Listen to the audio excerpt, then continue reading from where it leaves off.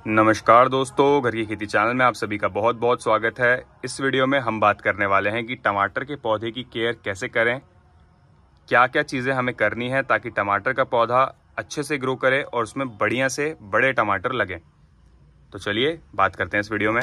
सबसे पहले, अगर आपने इसकी पुरानी वीडियोस नहीं देखी हैं, जहाँ पे हमने टमाटर की बंधाई करी थी तो आई बटन में इसकी लिंक डाल दे रहे हैं हम, जाके आप ज़रूर देखिएगा।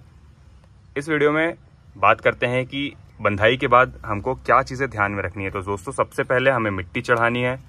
जब भी पौधा बड़ा हो जाए तो हमको इस तरीके से साइड की मिट्टी लेके पौधे के ऊपर चढ़ा देनी है।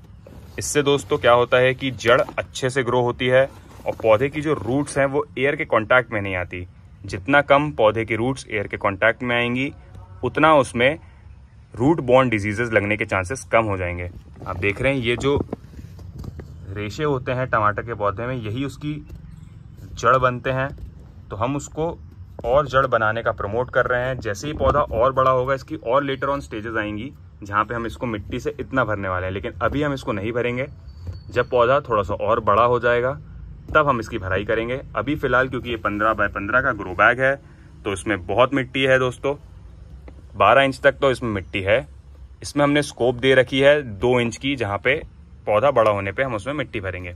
सबसे पहले चीज़ दोस्तों, इस टाइप की जो सकर्स आती हैं, देख सकते हैं आप, ये छोटे छोटे सकर्स निकलते हैं पौधे में। इसको हमें निकाल देना है। ये सकर्स दोस्तों, सारा ही न्यूट्रिशन जो कि पौधे की जड़ से हम ऊपर भेजते हैं, उसको सक कर लेती है और पौधे के फ्लावर्स और फ्रूट्स तक नहीं पहुँचने देती है। तो ध्यान रहे दोस्तों कि इस सकर्स को आप निकाल दीजिए। ज़्यादा ऊपर के सकर्स निकालने की ज़रूरत नहीं है। ग्राउंड से एक फिट तक जितने भी आपको सकर्स दिखते हैं, उसको ज़रूर निकालिए। तो दोस्तों, अब हम कट करेंगे इन लीव्स को। ये लीव्स जितनी भी हमारी पहली बंधाई से नीचे की लगी हुई हैं, एक फिट तक, उन सभी को हमें प्रून कर देना है। ऐसा इसलिए करना है दोस्तों क्योंकि अब आप देखिए, ये जो लीव्स हैं, ये कितनी ख़राब हो चुकी है। इनमें बीमारी लग चुकी है। क्यों? क्योंकि ये मिट्टी से कांटेक्ट में आ चुकी थी।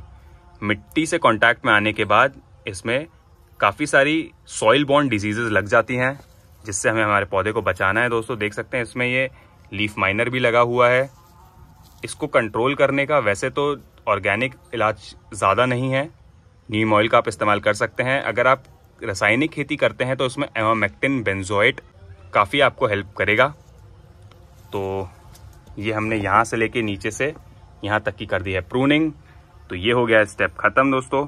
चलते हैं अगले पौधे में। ये देखिए, ये इसमें मिट्टी चढ़ाने का काम हमने कर दिया है। इसके बाद जो है, जहाँ भी हमने हमारा पहला गठान लगाई थी, ये लगी है एक फिट की। इसके नीचे की जितनी भी साइड ब्रांचेस हैं, इसको हमें हटा देना है। इस वाली को भी हम नहीं हटाएँगे दोस्तों, काफ़ी कड़क है। ये हमने देखा और ये कर दी हमने इसकी प्रूनिंग इससे क्या होगा दोस्तों कि मिट्टी से पौधे का कॉन्टैक्ट हट जाएगा। अब हमारी कोई भी लीव्स आप देख सकते हैं कि मिट्टी में टच नहीं है। इस चीज़ का हमको विशेष ध्यान रखना है कि कोई भी हमारी जो पत्तियाँ हैं, वो मिट्टी से टच ना हो। मिट्टी से टच होने के बाद इसमें काफ़ी सारे डिज़ीज़ लग जाते हैं। देख सकते हैं इसमें इल्लियों का अटैक भी है।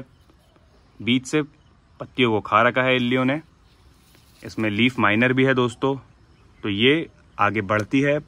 हमारे पौधों को काफ़ी नुकसान पहुंचाती है अगर इस तरीके से हम प्रूनिंग नहीं करते हैं तो। तो आप भी अपने घर के पौधों में ऐसी प्रूनिंग ज़रूर करिएगा इसको अभी हम छोड़ दे रहे हैं दोस्तों, क्योंकि ये अभी मिट्टी से काफ़ी ऊपर है। ये देखिए, इसमें काफ़ी सारे पत्तियाँ नीचे टच हो रही हैं। ये देखिए, इस पत्ती को भी डायरेक्ट कॉन्टैक्ट मिल रहा है मिट्टी से तो इसमें भी दिक्कत हो सकती है। ये भी नीचे जा रही है, इसमें भी दिक्कत हो सकती है। तो चलिए, इनको कर देते हैं हम प्रून ये पहली हमने हटा दी।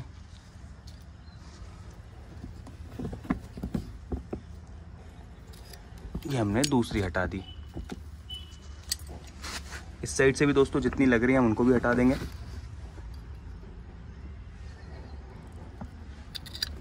तो दोस्तों, इसकी भी हो गई प्रूनिंग इसके भी हमने हटा दिए सकर्स अब ये कोई भी इसकी जो लीव्स हैं, वो मिट्टी से टच नहीं है। यानी कि अब मिट्टी से इसमें कोई भी समस्या नहीं पैदा होगी।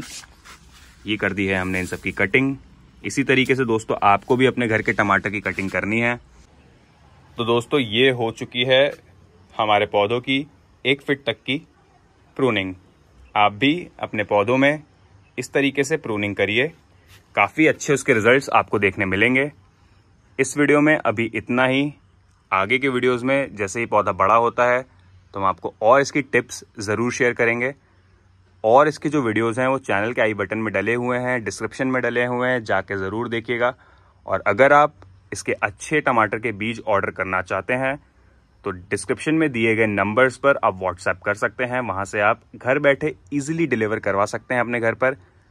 घर की खेती काफ़ी सारे अच्छे हाई क्वालिटी इक्विपमेंट्स भी प्रोवाइड करती है और काफ़ी अफोर्डेबल रेट्स पे आपको प्रोवाइड करती है ताकि आपकी गार्डनिंग में किसी तरीके की दिक्कत ना आए और आप बड़े ही आसानी से घर पर गार्डनिंग कर सकें।